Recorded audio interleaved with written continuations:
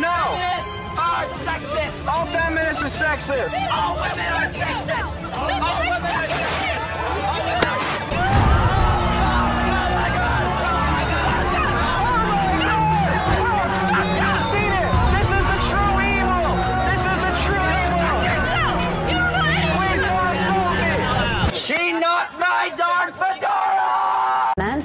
Is when a man spreads his physical body to take up as much space as humanly possible. Have you ever been raped? That's a pretty upfront question. Because I feel like if you haven't, you can't take a stand against it. I think one thing leads to another, so I don't think it's trivializing at all. So, in a culture where women are stoned to death for Wait one second, pal. Did you fucking see that?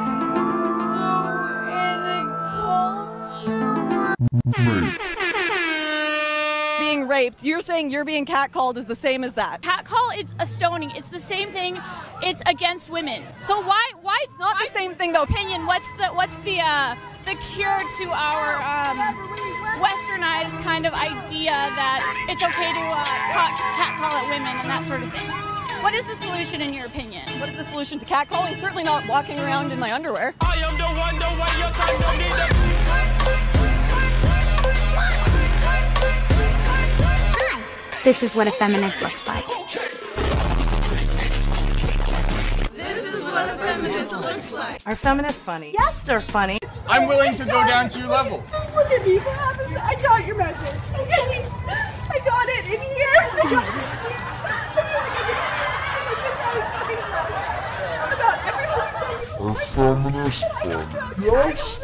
I don't think it has anything to do with female or male. It has to do with people being regarded as equal.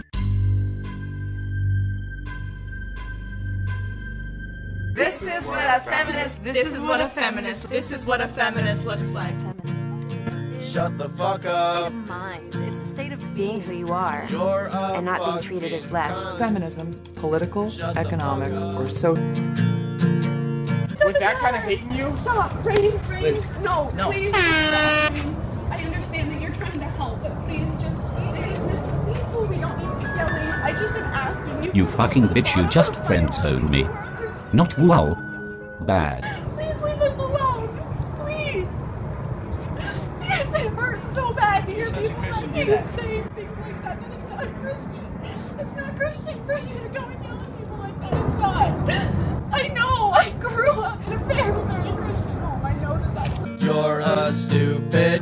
Suck my dick. Pretty. Pretty. Pretty. What the fuck? I'm not the pretty fucking helpless princess in distress. I'm pretty fucking powerful and ready for success. So what is more offensive? A little girl saying fuck or the fucking unequal and sexist way? Society treats girls and women. It's our future. So listen up, grown-ups. Here's some words more fucked up than the word fuck. Pay inequality. What most people don't realise, the gender pay gap is a sort of myth. No economist takes it seriously. The ONS figures come from broad church sort of averages across the workforce, and when you take into account the different choices women make, whether or not you include um, children in that, actually the, the pay gap narrows to zero. So I'm in favour of this only because it's going to really embarrass these uh, campaigners who constantly um, tell women that they're victims and that they're suffering under this sort of patriarchal society. Actually, women and men get paid pretty much the same um, to the point of a couple of percent. Um, so I am in favour of it, of it, but only because it's going to explode one of the most persistent feminist myths of our time the gender pay gap. Women are paid 23% less than men for the exact same fucking work. Your main claim is about the gender pay gap, that actually that is a myth. And it's not a myth, is it? Yes, it is a myth, yes. Well, it's not a myth according to the figures from the ONS, the Office for National Statistics, because even in November last year, they showed that the gender pay gap for all employees, full time and part time, still benefits men by 19.1 percent. That's their figures. Yes, well, For full-time employment, just one moment, it was 9.4 percent less, and that's in April this year. Now there is a narrow figure that they use too, which shows that hourly earnings in April 2014, with women working for more than 30 hours a week, were actually paid 1.1 percent more. But that's it. It's just that bracket. And actually, Yeah. when you get uh, men and women workers in their 40s, 50s, or 60s, again, the gender pay gap is in favour of men. So it's a myth. Well, you're right about all of that stuff, but you're wrong about why it's happening. Um, you know, Well, well, hang on a second, though, because you made the claim in your piece, in your film, that women are not paid, uh, or rather, men are not paid more than women, and they Yeah, but, are. well, you have to understand where the figures come from, right? These um, these Yeah, you must understand. These figures are. You're going to accuse me No, all right. mansplaining, aren't you? No. Um, these figures come from averages across society. They don't take into account the different life choices that women make. The reality is that women do prefer a more balanced life. When they go to work, even if they don't have babies, they take longer holidays. They tend to take more holidays. And the reason that, that, that, that you know, they are paid more, up to about 30, 35, 39, depending on whose figures you believe, the reason that No, flips at only the end- between 30 and 39. the reason, no, that's actually not true. Um, the reason that the figures flip after that age is because women make different life choices. Right. if you take those life choices into account, no serious economist believes this stuff. It's repeated by politicians right up to President Obama, but no serious economist takes the wage gap seriously. And women who graduate university with straight A's get paid as much as men who only got C's. So bad grades equal more bank just because you're a boy. You stupid fucking cunt. I shouldn't need a penis to get paid. Rape and violence. Fucked up fact. One out of every five women will be sexually assaulted or raped by a man. One, two, three, four, five. Six, seven, eight, nine, ten, eleven, twelve, thirteen, fourteen. Which one of us will it be? How many more women have to get knocked down before society stands up and stops it? Here's a hot tip. Stop telling girls how to dress and start teaching boys not to fucking rape. Jesus Christ. I am sick of being a baby factory that produces more men that will just, in the future, subjugate me. So the only answer to that is to kill male babies and um, just kill any man that you see, like in the streets, like any swinging dick, just kill him, because um, we want the species to go on, but we want it only to go on with women in it. So that's what we have to do. That's the only way to keep the human race going is with just women. Oh, you are so dumb. You are really dumb. For real. Bindel has openly called for putting men in concentration camps. I mean, I would actually put them all in some kind of camp where they can all drive around in quad bikes or bicycles or white vans.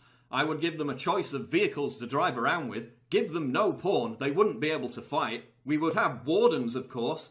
Women who want to see their sons or male loved ones would also be able to go and visit or take them out like a library book and then bring them back. But of course, feminism is not about man hating. Oh no. I'm sorry it's a boy. Go and read her quotes in the full context of the article. She's not even joking. Bindel also states, quote, I hope heterosexuality doesn't survive, actually. I would like to see a truce on heterosexuality. Wait a second. You hope the very biological process that creates women doesn't survive. And you call yourself a feminist. The rest of the interview, she talks about getting laws passed to achieve what she's calling for. These people are frigging dangerous. Well, the free market is. If women mm. want to spend all that money getting a pedicure, we don't even see your fucking feet. Can you imagine? I can't even conceive of a man saying, Yeah, I went on a date with her and she hadn't had a pedicure in a while. Her toes were way too long. Like, that's never no, happened. Know. Women are bleaching their anus. You know how many men have gone, She's almost perfect, but her anus is brown. so we're splitting up. Yeah. When there's a situation like, okay, guys, you and I work at Stelco. We got to stay all night to work on this proposal. We might not get it. My daughter has a piano recital. Your daughter has a piano recital. You are more likely, over the you know course of millions of women, the female is more likely to say, "I'm going to my daughter's piano recital. Sorry." I'm more likely to stay all night. That means that choice again and again and again eventually leads to me going up the ladder faster and making more money. Yeah. Different life priorities. Yeah. Now, I the guy on Fox was saying that this is a good thing because it's God's way, nature's way of saying women are happier at home. I mean, if you take a female a, a female chimp that's and you put her right there, she can play with a truck or a stuffed animal. And you put a male chimp there, he can play with a truck or a stuffed animal. Invariably, they've done this with 800 different cases. The male chimps almost always go for the truck, and the female chimps almost always go for the stuffed animal and start stroking it and nurturing it. Yeah. So this Yeah, there's something mothery that is in a lot of women. so let's is glor- if we're, let's be feminist. Let's glorify the housewife. Let's glorify their choice to earn I'm- less. I'm all for glorifying the housewife and glorifying all the women and the choices that they make and how to live their lives. Great. So we're on the same page there.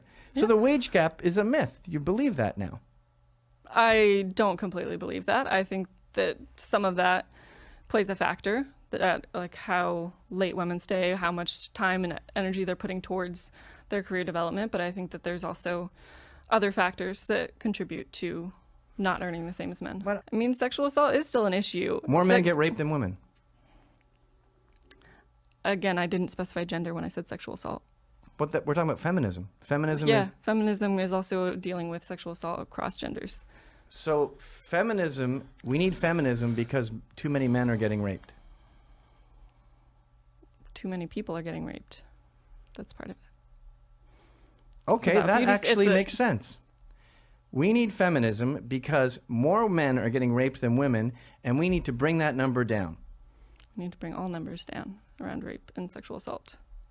Well, the cases of rape are plummeting over the past quarter century.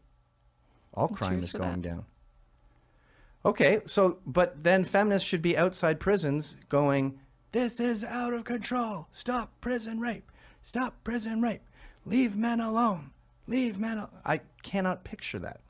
Yeah, well, I think that we there should be more. Okay, so men getting raped is one fire that we need feminism for. Give me another one. Minimum wage? minimum wage jobs. You're not supposed to raise a family at McDonald's. You may not be supposed to be, but there are too many people that that is their only option.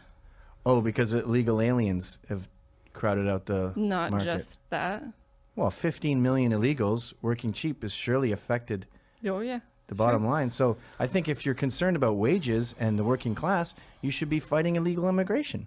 The biggest concern is the wealth gap, though. I mean, how much the top percent is making in comparison to everybody else. That's ah. I do agree that CEOs make too much, but you remind me of a Margaret Thatcher quote where she said, "Labor would ra- would rather have the wealth gap here, where both are poorer, than a gap like this, where the rich are rich, where the poor are richer, but the gap is bigger. Would you rather have both down here, than a big gap with the poor slightly higher, I think it would make for a healthier society to be down here?" to be closer to equal. Yeah. And do you think the government's role is to regulate that and impose it on the society? To some extent. So you're a socialist. I wouldn't say that, but I believe in some socialist ideals. Have you ever been to the DMV? Yep. These are the people, these fucking bureaucrats with no interest in being there, these rude, lazy morons are going to be handling your justice. You're imparting your freedom and your liberty and your equality. You're saying, hey, shitheads, can you run my life, please? Not all government employees are. Yes, lazy. they are. No, they're not. That's why they're in the government. Politicians are not. There are many different government jobs, and they are not just the DMV. No, There's, because they don't have regulation. They don't have the free market kicking them out. So incompetence abounds. In fact, it's encouraged.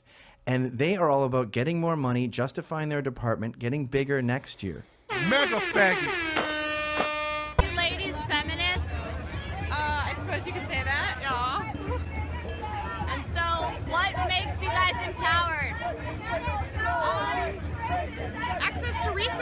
To actually make choices about my bodily autonomy and maintain my bodily autonomy. So, like, not shaving your armpits, is that empowering you? I don't like to shave my armpits, so I don't. It's, that's it. It's empowering to be able to make it. Yeah.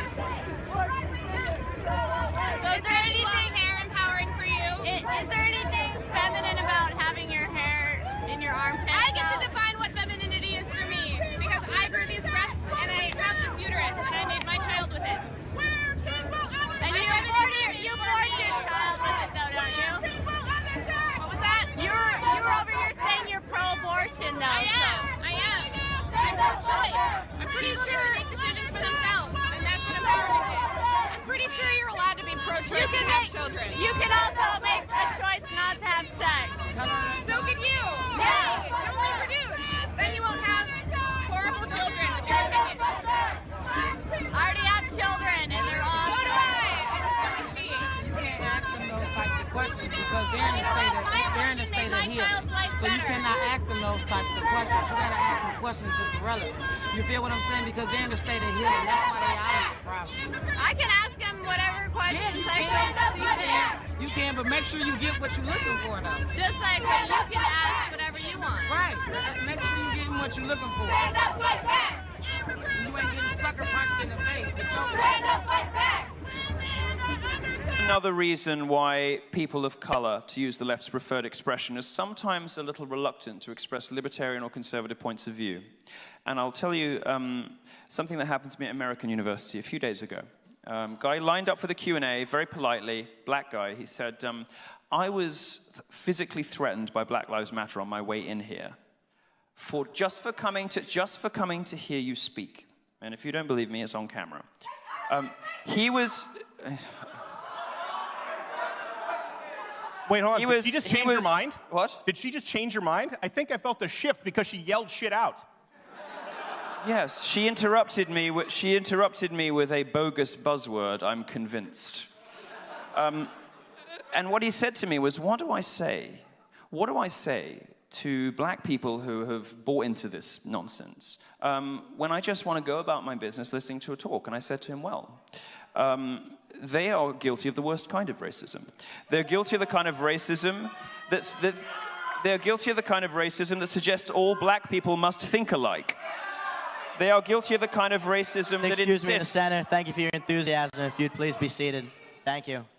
They're guilty of the kind of racism that suggests that all black people must think the same. They're uh, just in the same way that people who have problems with me being a gay conservative are guilty of, a, of a sort of homophobia, a real homophobia, which, which actually does uh, delegitimize and belittle a particular group and sort of put them in a box. And he said, Well, what do I say to these people? And I said, Well, look, here's, here's what you say to them.